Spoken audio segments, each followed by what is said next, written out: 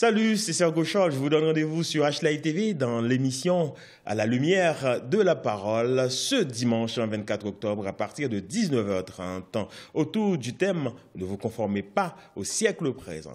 Pour débattre ce thème, nous avons comme invité le pasteur Levelt euh, Joisil. À la lumière de la parole est une émission qui vous donne la parole. Nous attendons bien sûr vos questions, vos avis, vos suggestions, votre accord, votre désaccord au 09 Bien sûr, 09, je vous prends pour vous, 09 50 05 39 39.